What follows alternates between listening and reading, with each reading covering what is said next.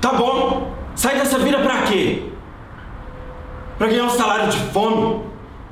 Um emprego de merda? Você acha que eu tô aqui porque eu quero? Eu larguei a faculdade por falta de grana. Não sou desses merdas aí que não sabem nem ler. A vida é assim. Não dá oportunidades para um duro como eu.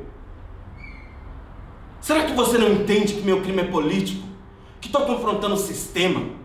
Que sou a consequência de toda essa lama que está aí? Olha a sua volta. Esse aqui é meu estado. Aqui quem governa sou eu. Eu sou o poder público. Eu sou a saúde, a educação, a segurança, o sistema básico. Eu sou tudo que falta nesse país de merda. Por isso eles me protegem. Eu ocupo um espaço vazio e ignorado. Não me querem fora daqui.